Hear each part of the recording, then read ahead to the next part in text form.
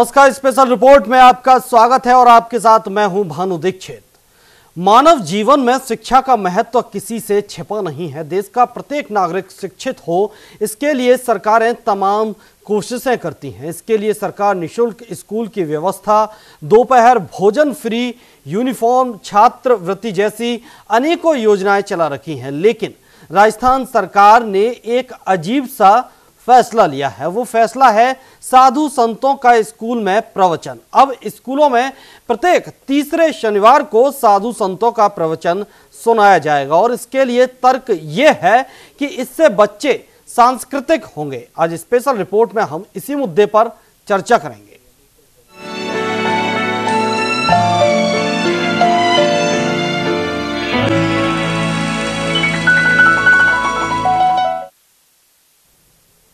चुनावी वर्ष में राजस्थान सरकार मतदाताओं को लुभाने के लिए एक के बाद एक नए फैसले ले रही है। राज्य की बीजेपी सरकार ने फैसला लिया है कि राजस्थान के सरकारी स्कूलों में अब साधु महात्मा भी अपना प्रवचन दे सकेंगे। सुनने में अजीब लगने वाले सरकार के इस फैसले पर कांग्रेस ने कहा है कि पब्लिक है, सब जानती है। एक रिपोर्ट देखिए। राजस्थान के स्कूलों में होगा बाबाओं का प्रवचन। शनिवार का अंतिम पीरियड होगा, संस्कार पीरियड। दिए जाएँगे बच्चों को संस्कार। क्लास में आएँगे साधु और संत।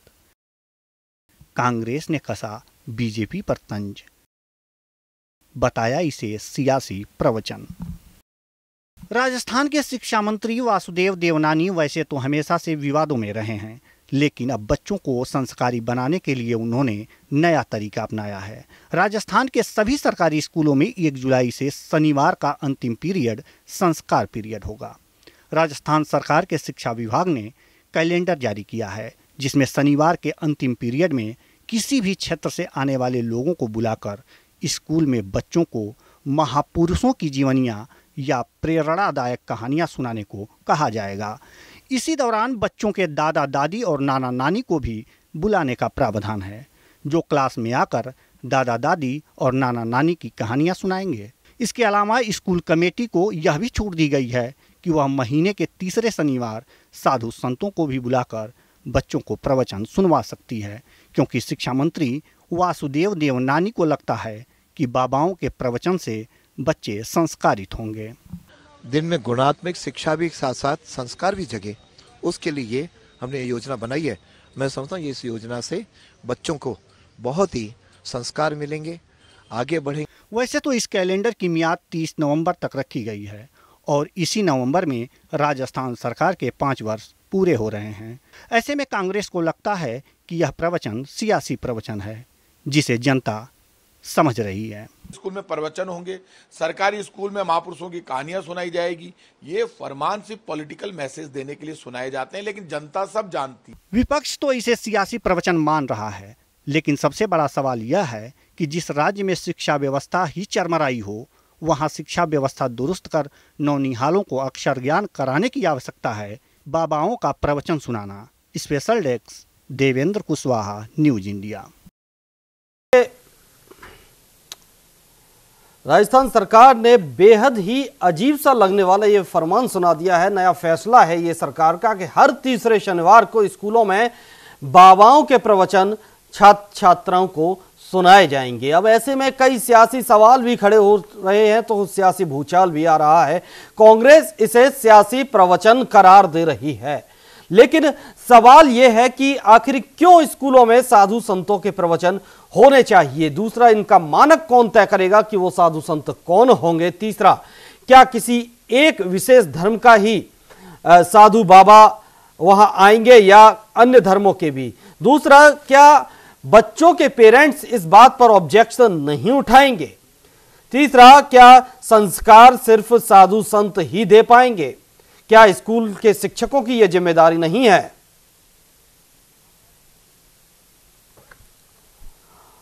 और इस पर आचार्य शिवम कृष्ण हमारे साथ जुड़ गए हैं जो हम पार्टी के उत्तर प्रदेश के प्रदेश उपाध्यक्ष हैं। आचार्य जी बहुत बहुत स्वागत है आपका न्यूज़ इंडिया पर। जी बहुत बहुत धन्यवाद भानु सर। आचार्य शिवम कृष्ण जी राजस्थान सरकार का एक अजीब सा फैसला आ रहा है कि स्कूलों में अब साधु संतों के प्रवचन हुआ करेंगे जो बच्चों को संस्कार बांटेंगे यानी कि बच्चों में संस्कार देंगे। तो ये कितना महत्व रखता है कि संस्कार साधु संत ही दे पाएँगे? जी भानु सर इस पर मैं कहना चाहूँगा ये हमारे देश की ये देखिए आप कितनी बड़ी विडंबना है कि अब हमारे देश में देश के विद्यालयों में अब साधु संत जो है संस्कार बांटने के लिए विद्यालय में जाएँगे। जहाँ साधु संत एक वो शब्द होता है कि साधु जिसने सन्यास धारण किया है, साधु ने जिसने सन्यास धारण करने का मतलब ये है कि सन्यास मतलब समाज से विरक्ति और भगवान में अनुरक्ति। आप भगवान से जुड़े हैं, फिर आप विद्यालय में जाकर के आप संकेत देंगे, जो शिक्षक वहाँ पे शिक्षा प्रदान करने के लिए वहाँ जो पहले से ही विराजित है, फिर उनका क्या महत्व रह जाएगा? मेरी ये समझ में नहीं आ रहा है कि संस्कार तो बच्चों में, घर के माता पिता एवं जो गुरुजन होते हैं, वो डालते हैं और कॉलेज के स्कूल के जो टीचर होते हैं, वो डालते हैं संस्कार। और फिर शिक्षा ही जब जो है, वहाँ पे खत्म कर दी जाएगी, केवल संस्कार में जीवन चलेगा। क्या, सर? संस्कार तो बच्चों को माता पिता से प्राप्त होते हैं, घर से प्राप्त होते हैं। जी, लेकिन आचार्य जी, अब सवाल यहाँ ये भी उठता है कि साधु संतों को अगर आप स्कूल में लाएँगे जी बिल्कुल सही बात है। अगर कैसे ये, ये तो अगर तो आने वाले वक्त में कोई साधु आसाराम बापू जैसा निकल आया फिर क्या होगा? बिल्कुल सही बात है सर। यही तो हम कहना चाहते हैं। देश को मैं यही मैसेज देना चाहता हूँ कि उन्हीं में से यदि आसाराम या कोई राम रहीम हुआ तो आप क्या करेंगे? जी तो दूसरा सवाल ये भी है क्या क्या एक विशेष धर्म के ही बाबाओं को स्कूल में बुलाना चाहिए? क्योंकि स्कूल में तो सभी धर्म के बच्चे पढ़ते हैं तो उनके पेरेंट्स इस पर ऑब्जेक्शन नहीं उठाएँगे? जी जी नहीं क्यों नहीं? बिल्कुल भाई समाज समाज बिल्कुल ऑब्जेक्शन उठाएगा सर इस पर। समाज स्वीकार नहीं करेगा। ये तो वही बात हो गई जी। आ, आप कहते हो हिंदू मेरा मुस्लिम मेरा और बाद में आप दोनों के ये तो कोई सर हमारी समझ में ये बात नहीं है ये तो बहुत गलत बात है। इसके पक्ष में हम नहीं है। क्या क्या आप इसका मायने निकाल रहे हैं? भाजपा सरकार ने जो ये फैसला लिया है हालाँकि कांग्रेस इसे भाजपा सरकार ये एक सियासी साजिश रच रही है और कुछ नहीं है। हिंदू धर्म का इस्तेमाल करती है ना वो हिंदू के लिए सोचती है ना वो मुस्लिम के लिए सोचती है। जी आचार्य जी आपको रोकेंगे इस वक्त हमारे साथ सुरेंद्र सिंह नरूका जी जो बीजेपी नेता हैं जुड़ गए हैं। सुरेंद्र सिंह जी बहुत बहुत स्वागत है आपका न्यूज़ इंडिया पर। हाँ नमस्कार सर। नरुका जी राजस्थान सरकार का फैसला आ रहा है। एक निर्देश जारी हो रहा है कि हर तीसरे शनिवार स्कूलों में साधु संतों के प्रवचन होंगे। हाँ कितना फ़ायदेमंद मानते हैं आप इसको शिक्षा के लिए? आपने शायद उस जो राजस्थान सरकार का आदेश हुआ उसका पूरा अवलोकन किया होगा। जी। उसमें केवल मात्र साधु संतों का प्रवचन ही नहीं है। जी। भारत की जो संस्कृति है भारत की संस्कृति का और भारत के इतिहास का भारत के महापुरुषों के लिए लेकर भारत की जो नदी नाले हैं उनके बारे, बारे में, बच्चों को बताना उनकी नैतिक शिक्षा का बढ़ावा देने की बात कही गई है। तो ये तो सब पहले से पढ़ाया ही जा रहा है किताबों में। जो किताबों में पढ़ाया जा रहा है उसमें एक स्टेज तक ले जाके पढ़ाया जाता है। आपको पता हो तो हमारी क्लासों में हमारे स्कूल में बाल सभाएँ होती है। और बाल सभाओं में अलग अलग महापुरुषों की कहानियाँ वगैरह और ना, नाटक के रूप में या उनको उद्बोधन देकर समझाया जाता है। उसी प्रोसेस को आगे ले जाते हुए राजस्थान सरकार ने ये एक रखा है कि हर शनिवार को लास्ट के जो मंथ के शनिवार को इस तरीके के प्रोग्राम रखे जाएँ जिनसे बच्चों की नैतिक स्तर भी बढ़ाए और बच्चों को बच्चों को भारत के इतिहास के बारे में भारत की संस्कृति के बारे में भी ज्ञान हो। जी जी। जी नरुगा जी बने रहिए हमारे साथ। कांग्रेस नेता अर्चना शर्मा भी जुड़ गई हैं। अर्चना जी बहुत बहुत स्वागत है आपका न्यूज़ इंडिया पर। जी धन्यवाद। जी अर्चना जी बीजेपी सरकार का फैसला आ रहा है कि हर तीसरे शनिवार को साधु संतों को स्कूल में जाकर बच्चों को शिक्षा देनी होगी प्रवचन देने होंगे संस्कारिक। कांग्रेस ने तो इसे सियासी प्रवचन बता ही दिया है लेकिन आपका क्या कहना है अब इस पर? देखिए भारतीय जनता पार्टी की जो सरकार है उसका प्रमुख दायित्व तो ये है कि स्कूलों की जो इंफ्रास्ट्रक्चर हो सुदृढ़ हो करिकुलम टाइम पर पूरा हो जाए बच्चों को सुविधाएँ मिल जाए सुरक्षा वहाँ पर हो इन सब चीज़ों का तो चिंता नहीं है लेकिन नए नए शगुफे ये छोड़ते हैं। मैं समझती हूँ ये सरकार और विशेषकर शिक्षा मंत्री का वितंडावाद है जिसके माध्यम से सुर्खियाँ में बटोरना चाहते हैं। आप मुझे बताइए कि ये सेक्युलर स्टेट है जहाँ पर हर धर्म संप्रदाय के बच्चे पढ़ते हैं और यदि किसी की धार्मिक आकर्षण नहीं होगा उसके प्रति आकर्षित ही होगा वो तो किसी भी धार्मिक स्तर पर जाकर बच्चा प्रवचन सुन सकता है। स्कूल में तो होना ये चाहिए कि जो आपकी शिक्षा नैतिक शिक्षा की बात कर रहे थे तो नैतिक शिक्षा क्या प्रवचनों से आती है? नैतिक शिक्षा के लिए आवश्यक है कि बच्चों को ये समझाया जाए कि उनको भविष्य में किस प्रकार से शिक्षा के केंद्र के माध्यम से अपने भविष्य को सुधारना है। अब भारतीय जनता पार्टी चाहती है कि विचारधारा को अधिरोपित करें किसी न किसी स्वरूप में और इसकी कवायद ये चल रही है। एक तरह से उस प्रवृत्ति का द्योतक है जिसमें कि हम पुरातन जो प्रवृत्तियाँ थी उसकी ओर बढ़ना चाहते हैं।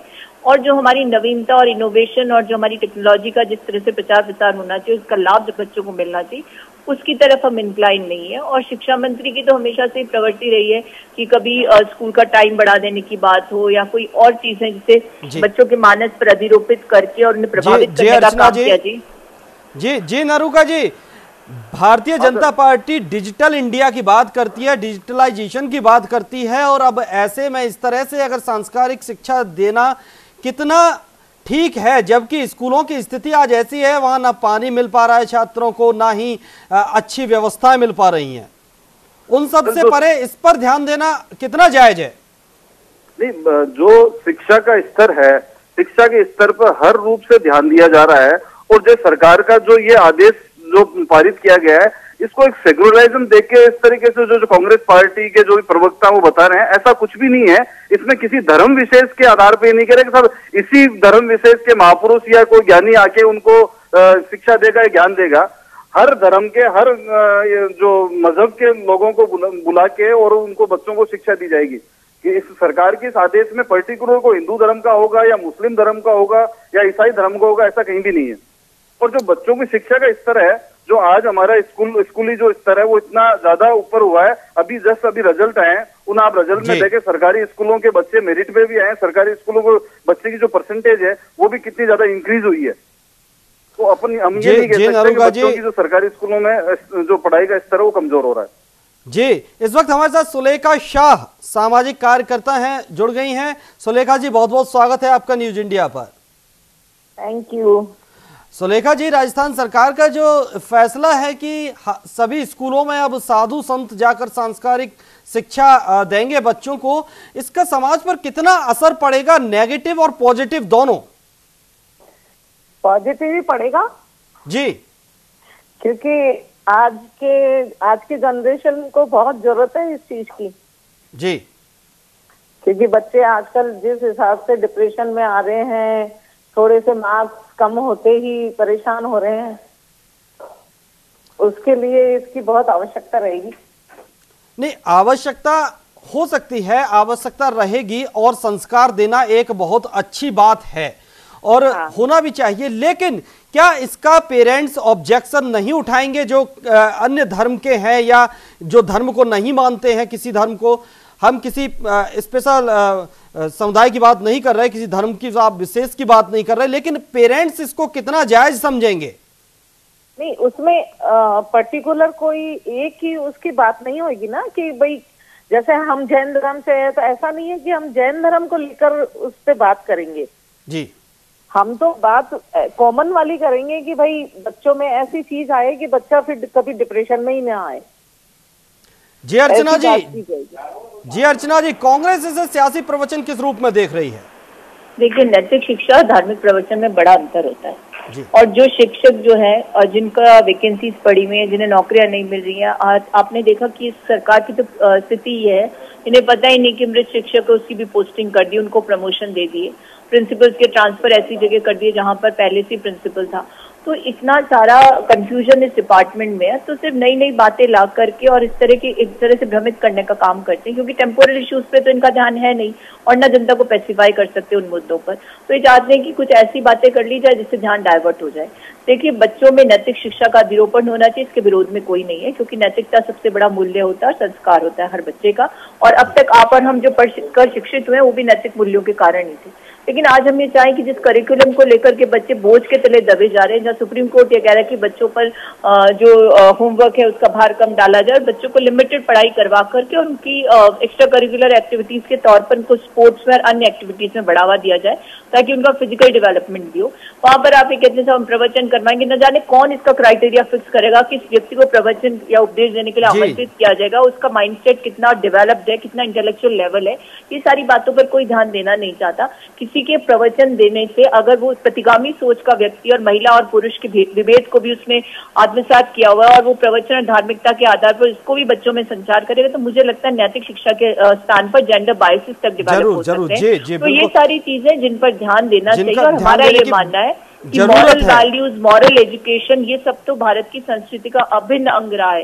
लेकिन हमने सबने इस चीज़ को माना है हमेशा कि हम धर्म को शिक्षा से अलग रखेंगे ताकि बच्चे किसी संकीर्ण सोच का शिकार होकर के और ऐसी भावनाओं के साथ आगे न बढ़ जाएँ जिसमें किसी और के प्रति सद्भावना ना हो सहिष्णुता ना हो क्योंकि हमें अब सेक्युलर फैब्रिक को ज़िंदा रखना है विशेषकर वर्तमान परिस्थितियों में। चाहे एक दूसरे के प्रति असम्मान एक दूसरे को कमतर आंकने की प्रवृत्ति हावी हो चुकी है संस्थागत हो चुकी है। हमारा सिर्फ़ इतना ही भय है इतना ही हमारा एक अप्रिहेंशन है जिसको लेकर के हमने कहा है हमारा किसी धार्मिक या धार्मिक प्रवचन से किसी धार्मिक गुरु से या किसी धर्म के प्रति कोई दुर्भावना नहीं है। हम सबका सम्मान करते हैं लेकिन हम चाहते हैं शिक्षा के केंद्र राजनीति और धार्मिक जो आवरण है जिसमें चारों तरफ़ ला करके अपनी सियासत करने का लोग प्रयास करें उससे उसे दूर रखा जाना चाहिए। जी नरुका जी क्या कहेंगे आप? अगर कोई साधु संत या कोई बाबा संकीर्णात्मक सोच का हुआ तो इसका मानक कौन तय करेगा? जो राजस्थान सरकार ने जो आदेश पारित किया है वो अर्चना जी कह रहे हैं उसी अनुरूप है। नैतिकता और संस्कृति का आ, बच्चों को तो बच्चों को ज्ञान हो इसी के लिए किया जा रहा है। धर्म परिवर्तन के लिए नहीं किया जा रहा। राजस्थान सरकार का उद्देश्य किसी धर्म परिवर्तन करवाना नहीं है। या धार्मिक किसी ऐसे गुरु को ले जाके प्रवचन दिलाना नहीं है जिससे उस, उस कोई धर्म परिवर्तन करे या किसी के किसी की धार्मिक भावना को ठेस पहुँचे। जी। आ, आज हमारे बच्चे एकाकी परिवार में जी रहे हैं। जो सामूहिक थे तो उनके बड़े बुज़ुर्ग उनको शिक्षा देते थे उनको एक कहानी के रूप में अपने इतिहास और संस्कृति के बारे में बताए बताते थे। उसी चीज़ को आगे बढ़ाने के लिए क्योंकि आज सभी जगह एकाकी परिवार और एकाकी परिवार को देखते हुए आज देखते हैं आज क्राइम कितना बढ़ रहा है। ऐसी सब चीज़ों को, ऐसे ज्ञान बढ़े बच्चों का, नैतिकता बच्चों की बढ़े उसी को मद्देनजर रखते हुए राजस्थान सरकार ने ऐसे आदेश पारित किए हैं, जिससे बच्चों को हमारे भारत की संस्कृति के बारे में, बच्चों को नैतिकता के बारे में, बच्चों के अपने परिवार के बारे में इसका ज्ञान हो और वो आगे इनकी प्रवृत्ति अच्छे रूप से प्रकट हो। इसी प्रकार की कोई धार्मिक भावनाओं को ठेस पहुँचाने के लिए, या धर्म परिवर्तन के बारे में, या किसी धर्म के बारे में ज़्यादा प्रचारित करने के लिए, या किसी धर्म की आलोचना करने के लिए आदेश पारित नहीं किया गया? जी। जी, आचार्य सेवम कृष्ण जी, आपको क्या लगता है कि जहाँ पर इस तरह की व्यवस्था के फरमान सुनाए गए हैं, फैसला लिया गया है सरकार की तरफ़ से, या इसकी जगह कुछ और भी होना चाहिए था? सर, इसकी जगह बिल्कुल बिल्कुल होना चाहिए था। उन्होंने ये तो एक जो है सियासी राजनीति को लेकर के उन्होंने ये जो मुद्दा उठाया है कि उसमें विद्यालय में टीचर्स संतों को एवं महंतों को सबको जाके पढ़ाना चाहिए, शिक्षा प्रदान करनी चाहिए। ये नहीं, संस्कार तो बच्चों को माता माता पिता से घर से ही उनको प्राप्त होते हैं, घर से ही दिए जाते हैं। विद्यालय में जो नैतिक शिक्षा है, सर, उस पर और ज़्यादा लोड नहीं बढ़ जाएगा। आज आप देख रहे हैं कि कोई भी बच्चा आप विद्यालय में बच्चा जाता है कोई भी बच्चा हंड्रेड परसेंट में से ninety nine ninety eight percent कोई बच्चा नहीं लेके आ पाता है। कोई सिक्सटी फाइव ला रहा है कोई फिफ्टी फाइव ला रहा है। वैसे ही उसके पास इतना लोड है पढ़ाई लिमिटेड रहनी चाहिए। उसके ऊपर आप एक और लोड डाल रहे हैं। लेकिन लेकिन तो आचार्य शिवम कृष्ण जब बच्चों को अपनी संस्कृति अपने इतिहास और अपने संस्कृति के बारे में पता ही नहीं होगा तो वो किस आधार पर आगे बात कर पाएँगे? नहीं तो सर उसको अब संत थोड़ी वहाँ पे विद्यालय में जाके सिखाएँगे है? ये तो घर से माँ माँ बाप ही सिखा सकते हैं ये माता पिता को जानकारी इसकी होनी चाहिए एक्चुअल में। ये संत नहीं बताएँगे उनको। दूसरा ये तो देखिए अब उनको चार साल में चार साल गुजर गए केंद्र सरकार को ये बातें अब उनको याद आ रही है राजस्थान सरकार को। पहले नहीं ये बातें उनको याद आई। ये बातें जो अब अब कर रहे हैं जब 2019 के इलेक्शन से। अब बात कर रहे हैं वो लोग। उनको शर्म आनी चाहिए। इस प्रकार का जी सुलेखा जी। सुलेखा जी जैसा कि सा, साधु संत आएँगे बच्चों को अच्छी शिक्षा देंगे ज़ाहिर है संस्कार ही मिलेंगे। ठीक है एक तरफ़ तो ये ठीक है लेकिन उस जो प्रवचन साधु बाबा देंगे जो भी वो प्रवचन होंगे उसकी क्या गारंटी होगी कि बच्चा उनको सकारात्मक ही लेगा? क्योंकि आज का जमाना बेहद हाईटेक है। अपने किसी धर्म को मानने के लिए अगर कहेंगे तो बात धर्म की नहीं हो रही या बात किसी भी धर्म की नहीं हो रही कोई भी आए किसी भी धर्म से आए। हाँ, लेकिन बात जो आज के बच्चे जो जितने हाईटेक हैं जो जितने आगे बढ़ चुके हैं क्या वो इसको कबूल करेंगे इस तरह के बातों को? कबूल तो नहीं करेंगे क्योंकि उनको ये चीज़ें तो पसंद आती ही नहीं है। जी। पर ये है कि अगर कॉमन वे से बात करी जाएगी तो शायद बच्चों को कुछ इससे हेल्प ही मिलेगी। इसलिए मेरा तो मानना है कि अच्छी अच्छी बात है उनको कॉमन में मतलब आधा घंटे के लिए अगर कोई मोटिवेशन आजकल अपन आप अपन देख ही रहे हैं कि स्पीकर्स वगैरह इनकी बात सुनने के लिए युवा पीढ़ी बहुत जाती है। और उनकी बात को फॉलो भी कर रही है वो लोग। समस्या तो हमारी है कि हम बड़े लोग उन चीज़ों को समझ नहीं पाते और अपनी रूढ़ियों में ही बच्चों को घसीटना चाहते हैं। तो वो थोड़ा सा इससे हटेंगे और उनको ये बातें बहुत अच्छी लगेगी मेरा तो मानना है कि बहुत अच्छी बात है ये। जे जे नरुका जी जैसा कि आचार्य जी कह रहे थे कि अब सरकार को ये ध्यान आ रहा है अब तक सरकार को ध्यान क्यों नहीं आया? क्या साधु संतों को जोड़कर इकट्ठा कर कर ये कहीं कोई वोट बैंक की राजनीति तो नहीं? अरे इसको मैं मैं मैं यही कह रहा हूँ आचार्य जी को कि इसको राजनीतिकरण से नहीं जोड़ा जाए। जब भी ध्यान आया जब भी किसी बच्चों की शिक्षा के लिए अगर कोई अच्छा कदम उठाया गया है तो उस उस कदम का स्वागत करना चाहिए उसको आगे बढ़ाने के लिए योगदान करना चाहिए उसको राजनीतिकरण नहीं देना चाहिए कि इससे कोई वोटों की राजनीति हो रही है या और किसी चीज़ की राजनीति हो रही है। लेकिन अगर बच्चों तो की नैतिक शिक्षा को आगे बढ़ाने के लिए कोई राज्य सरकार ने कोई कदम उठाया है तो उसको राजनीतिकरण से या वोटों से नहीं जोड़ा जाए। नरुका जी कांग्रेस तो इसे सियासी प्रवचन बता ही रही है। जी अर्चना जी। देखिए, मुझे समझ नहीं आता कौन सा अच्छा काम इन्होंने कर लिया जो बच्चों की बहबूदी या शिक्षा के क्षेत्र को बढ़ावा देने के लिए किया हो। इनकी हर नीति शिक्षा को पीछे धकेलने की रही है। स्कूलियों का समानीकरण, एकीकरण किया, उसके बाद शिक्षकों का स्टाफिंग पैटर्न लागू करके एक लाख शिक्षकों को अधिशेष कर दिया। और उसके बाद आप देखिए स्थितियाँ क्या हुई कि बच्चों के जो स्कूल थे राजधानी तक में वो बंद हो गए और एस सी ब्लॉक जितने भी थे प्रदेश के वहाँ पर बच्चों के स्कूल बंद होने से ड्रॉप आउट हो गए। लाखों की संख्या में बच्चे स्कूल से वंचित है और खुद भारत राज्य सरकार का जो इकोनॉमिक सर्वे वो इस बात का खुलासा करता है पचास हज़ार बच्चियाँ ड्रॉप आउट हुई है सरकार की नीतियों के कारण। तो जब बच्चे स्कूल पहुँच ही नहीं पा रहे स्कूलों के मर्जर से बंद हो गया है और उसके बाद मैंने जो सबसे बड़ा अप्रीहेंशन व्यक्त किया कि कौन वो व्यक्ति होगा अधिकृत रूप से या कौन ऐसा व्यक्ति होगा जो कि प्रवचन देने में सक्षम होगा जो बच्चों के जो माइंडसेट होता है वो इस अवस्था में कच्ची मिट्टी के रूप में उसे कैसे भी मोल्ड कर दीजिए। तो हम क्या ऐसे लोगों के हाथों में बच्चों का भविष्य दे सकते हैं जिनकी क्रेडिबिलिटी पर शंका हो? और अगर भविष्य में अगर कोई ऐसा साधु बाबा कोई आसाराम या राम रहीम टाइप के आ गए फिर। उसका जिम्मेदार कौन बिल्कुल यही तो सबसे बड़े प्रश्न है क्योंकि देखिए इसमें कोई संशय नहीं है कि हमारा समाज स्पिरिचुअली इंक्लाइंड है रिलीजन डीप रूटेड है हम लोगों क्या और हम लोग उस चीज़ को लेकर के बहुत ज़्यादा आस्था भी रखते हैं और उसके प्रति हमारा एक तरह से बहुत ज़्यादा सतर्कता भी है। उसके बाद भी मैं कहना चाहूँगी शिक्षा के केंद्रों को धर्म के केंद्र परिवर्तित होने से रोका जाना चाहिए क्योंकि धर्म और शिक्षा का मेल तभी हो सकता है जब धर्म सेक्युलर रूप में उसके प्रचार प्रसार में लेकिन हम धर्म के रूप में विभिन्न समुदाय संप्रदायों में बटे हुए हैं और उसके बाद भी हमारी समरसता कायम है। तो वो समरसता यूँ ही यथावत कायम रहेगी तो सांस्कृतिक रूप से ज़्यादा समृद्ध होंगे और संस्कृति का ज्ञान और हमें हमारे संस्कारों की प्राथमिक दायित्व जो है वो परिवार से होता है। परिवार जब संस्कार देते हैं, उसके आधार पर बच्चे एक दूसरे के साथ मेलजोल भी रखते हैं और आगे बढ़ते भी हैं।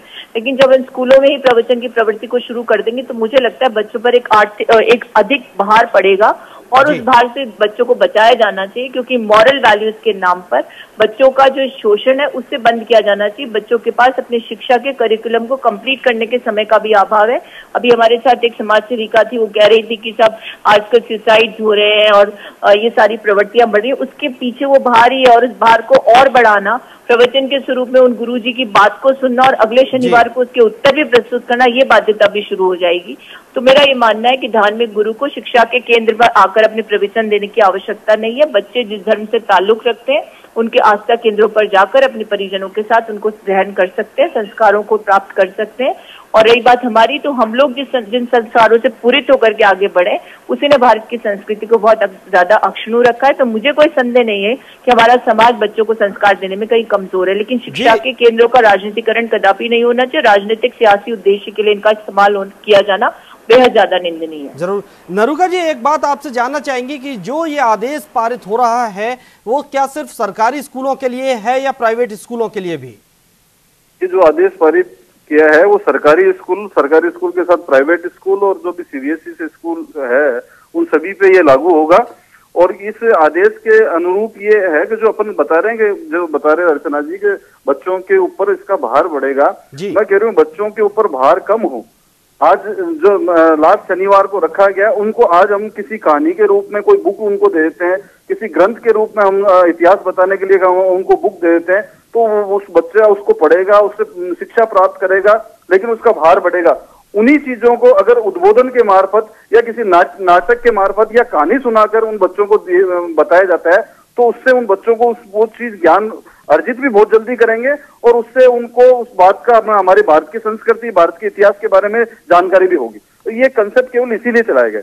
ज़रूर ज़रूर प्रकार से कोई धार्मिक चीज़ को या धार्मिक भावना के रूप में इसको राजनीतिकरण नहीं करके और बच्चों की नैतिकता को बढ़ाने के लिए कदम बढ़ाया गया सरकार का और ये सराहनीय कदम है और मैं इस, इसको मैं जो हमारे मंत्री है शिक्षा मंत्री मैं बहुत ही उनको बधाई देता हूँ उन्होंने बहुत ही अच्छा सराहनीय कदम उठाया।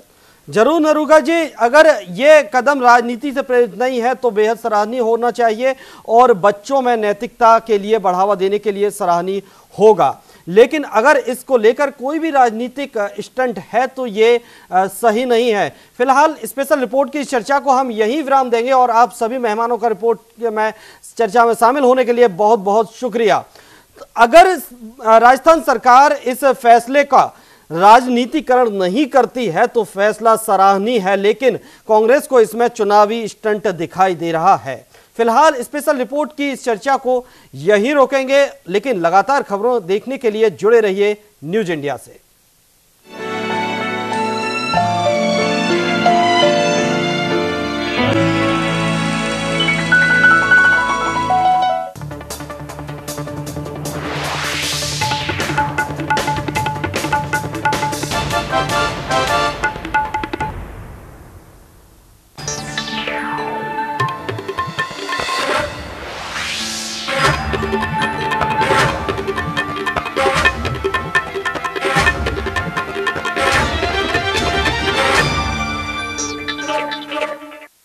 आप हमारे चैनल को यूट्यूब पर सब्सक्राइब कर सकते हैं न्यूज़ इंडिया निम्स पर।